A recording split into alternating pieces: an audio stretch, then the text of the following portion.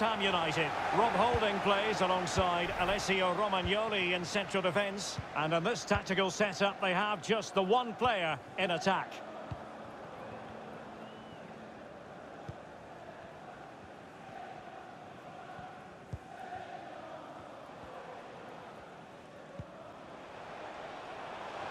Well, no stopping him.